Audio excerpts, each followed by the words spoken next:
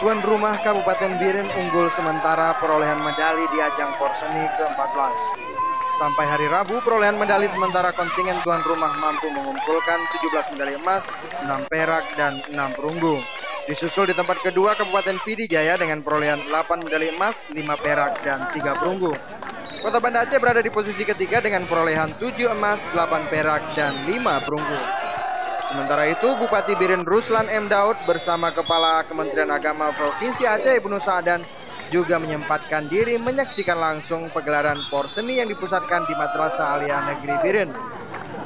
Selain memantau sejumlah kegiatan lain, Ruslan juga menyempatkan diri untuk menonton pertandingan bola voli tingkat Madrasah Aliyah antara tuan rumah Kabupaten Biren berhadapan dengan MAN Kota Banda Aceh.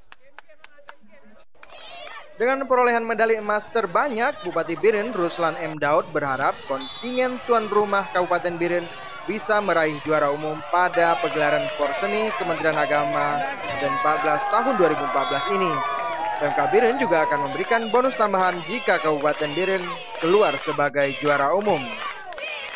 Nah, ini satu kebanggaan, satu kebanggaan bagi kami. Ternyata ya masyarakat ataupun pemain-pemain di Kabupaten Biren ini sangat antusias dan sangat siap uh, untuk menjadi memang apa, yang terbaik.